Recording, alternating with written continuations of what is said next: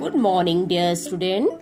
In today class, let me teach you the first lesson poem प्रार्थना जग की तुम रखवाली करते बिन मांगे सब कुछ दे देते सबके ऊपर दया दिखाते मिलजुल कर रहने को कहते परोपकार की बात सिखाते, दुख में सदा साथ तुम देते।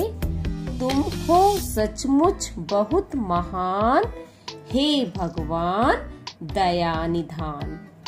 Now I tell you Hindi with English meaning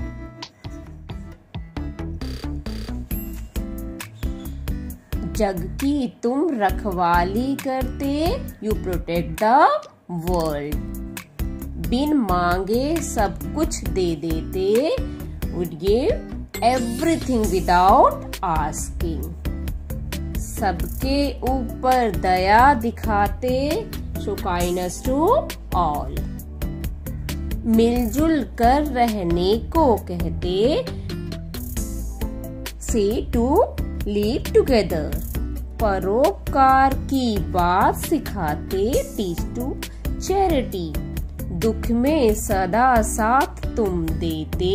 You always with me when I am sorrow तुम हो सचमुच बहुत महान.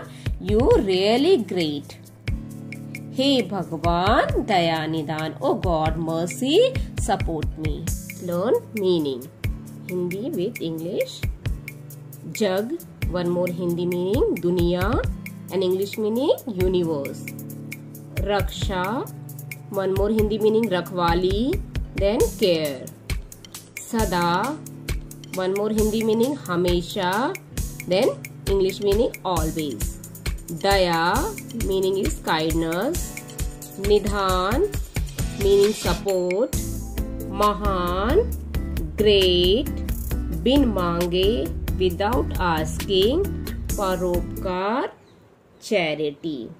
Hope you have understood boys